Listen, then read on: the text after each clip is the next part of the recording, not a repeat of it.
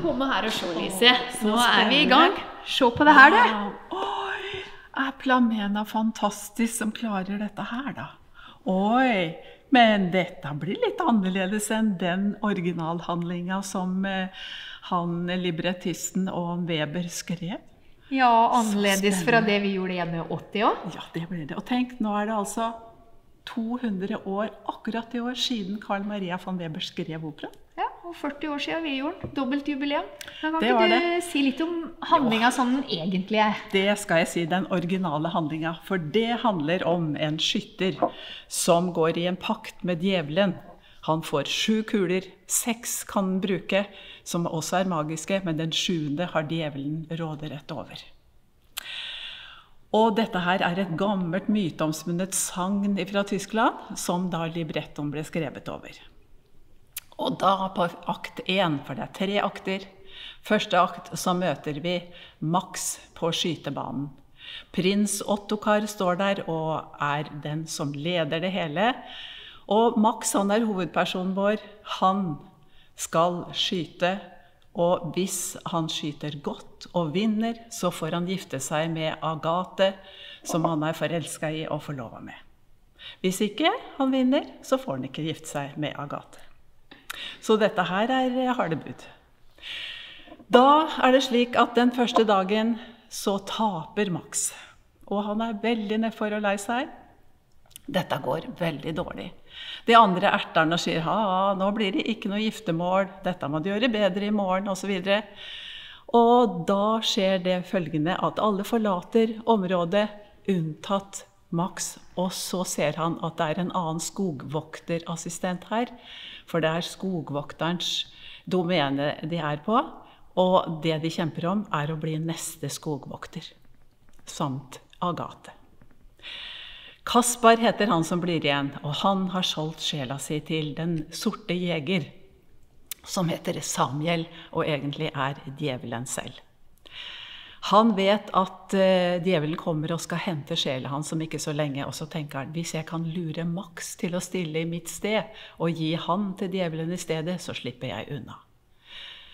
Og i og med at Max har skutt så dårlig, så sier Kaspar du kan låne geværet mitt. Det har nemlig en magisk kule. Det vet ikke Max. Og han sikter og skyter ned en ørn i flukt, og blir veldig begeistra for det. Selvfølgelig.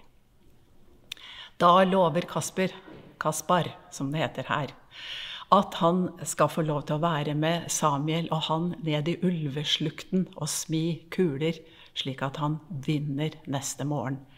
Og Max er strålende fornøyd. Der slutter første akt.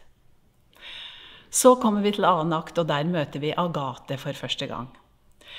Agathe er lei seg og litt redd, for hun har møtt en eremitt som har fortalt henne at hun kommer til å bli utsatt for vanskelige og ganske grusomme hendelser. Men at brudebuketten kommer til å redde henne. Hun er sammen med kusina si som heter Enkjen. Og akkurat idet Max skyter ned den ørnen, så faller det ned et stort bilde som nesten treffer Agathe og ødelegger henne. Da blir de ganske engstelige, begge jentene, og føler at her er det noe uhyggelig som holder på å skje. Men Enkjen er den rolige, og hun får Agathe til å slappe av og ta det med ro. Da plutselig kommer Max inn, strålende fornøyd, og forteller at han har skutt ned en ørn i flukt og at han skal være med ned i ulveslukten og smi kuler for morgendagens skytterstevne. Og der slutter akt to. Og så kommer vi til akt tre. Da møter vi en Agathe som er veldig, veldig lei seg. Og nedfor, for hun har hatt en uhyggelig drøm om natten. Hun har drømt at hun var en hvit due, og at Max skjøt henne ned. Men eh, Enkjen hun prøver å trøste henne og sier nei, dette her går bra, skjønner du. Nå sender jeg bud på brudepikene dine, og så skal vi hygge oss og kose oss, og så ordner det hele seg i dag. Brudepikene kommer inn, og de får roet henne ned. Og så åpner de en eske som eremitten har gitt eh, Agathe der brudekransen skal være, og så ser de at det er en likkrans istedenfor brudekransen. Da blir jentene veldig ute av seg. Men Agathe, alltid trøstende og alltid med gode råd, hun binder en brudekrans av rosene. Og etter hvert så roer de seg ned og føler at dette her skal gå bra, og så drar de alle sammen til festplassen. Der er det stor ståhei og glede fordi Max har klart å skyte seks flotte blinker. Og prins Ottokar, som eh, forestår hele skytterstevnet, han har sagt til Max at én liten ting skal du gjøre i tillegg. Du skal skyte en hvit due. Og nå er det bare én kule igjen. Og det er den kula som Samuel egentlig har råderett over. Og idet den dua reiser seg og flyr opp, så sikter Max, og så roper Agathe 'Ikke skyt! Den hvite dua er meg!' Men Max skyter. Og det ser ut til at Agathe er dødelig såret. Men så er det slik at brudekransen og eremitten har reddet henne. Kula går forbi og skyter Kaspar, som dør. Og like etterpå kommer Samuel og tar sjela hans med seg. Nå blir det oppstandelse. Hva i all verden er det som har skjedd her?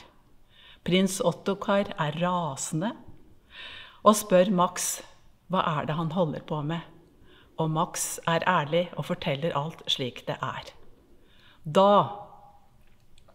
er gode råd dyre, for da kan det hende at prinsen tenker nå annullerer jeg alt det han har gjort, og han får ikke gifte seg med Agathe.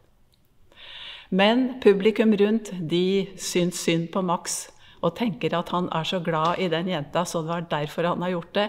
Og dermed så er det kjærligheten som vinner til slutt. Skytterkonkurranser skal avlyses, og ingen magi skal foregå mer. Så happy ending til slutt.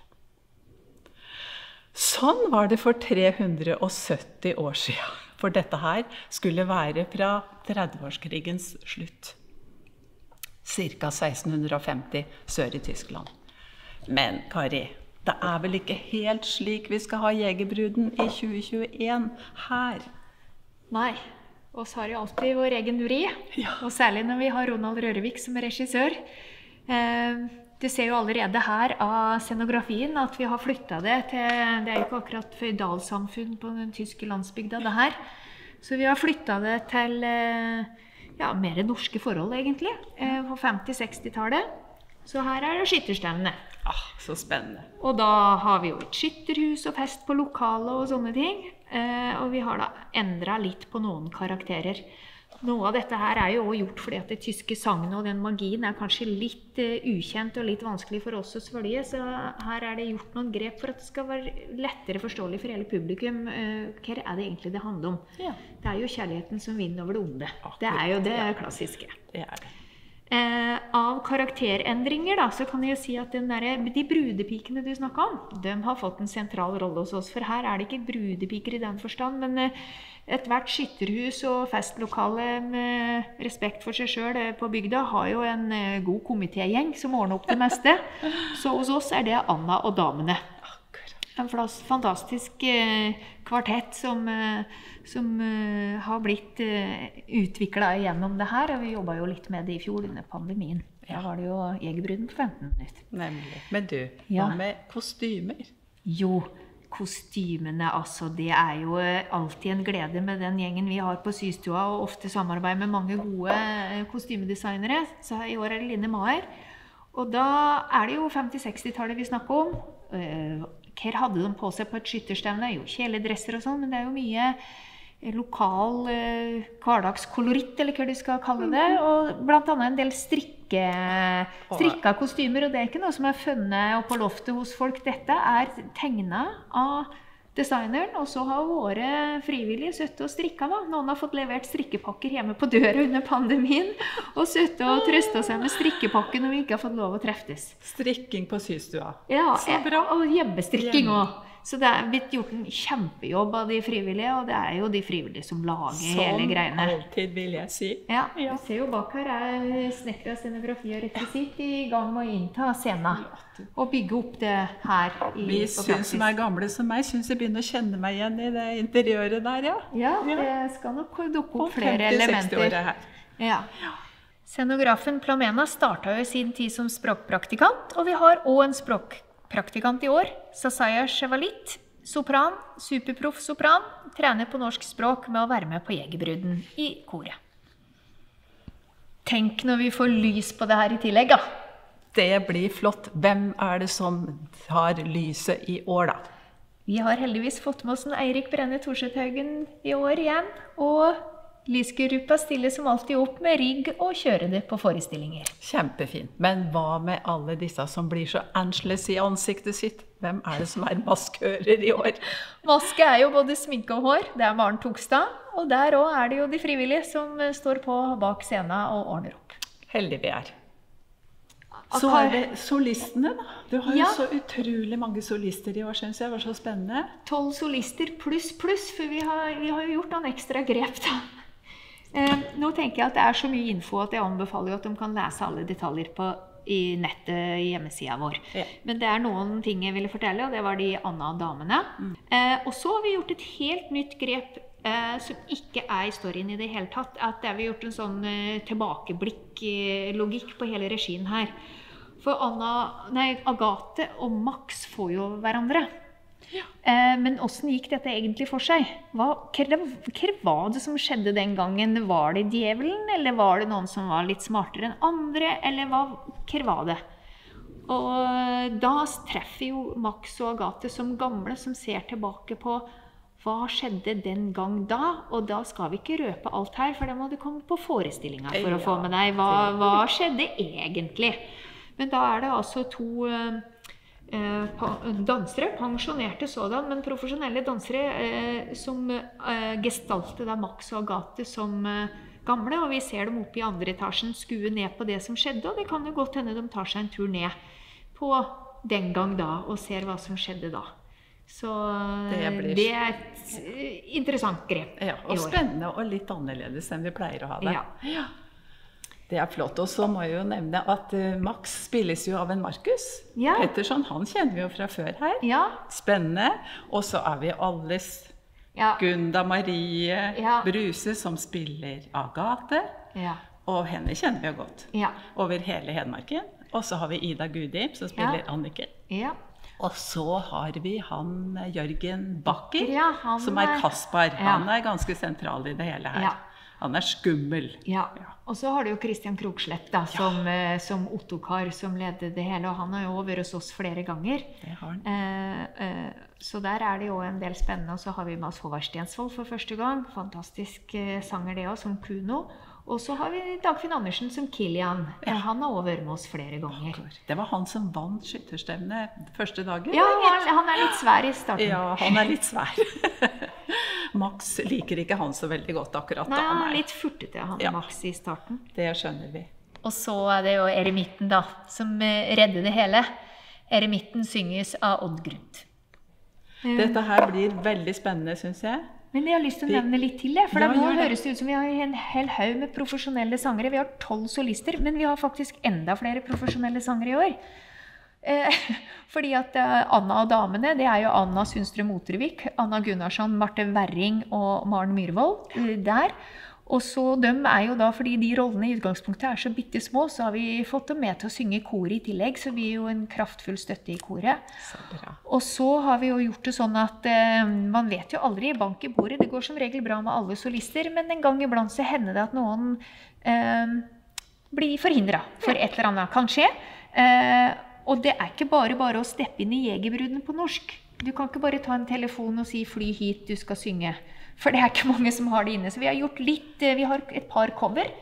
Eh, Christian er cover for, eh, for Max. I tillegg til at han sjøl er eh, Ottokar. Og så har vi fått med oss en Gunnar Andor Niland, som har brukt å være med oss før. Han er cover for Kaspar.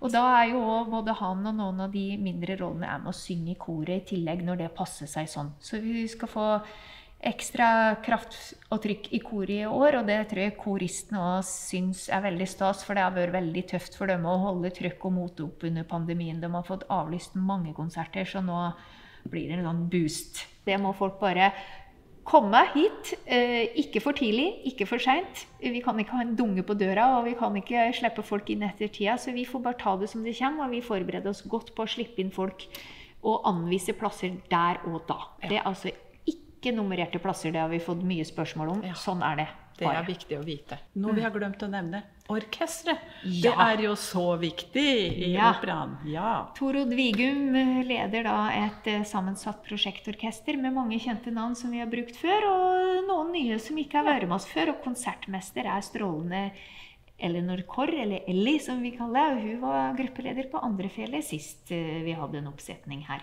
Så da gjenstår det vel bare å si hjertelig velkommen til Teatersalen og Jegerbruden. Billetter på GD Billett.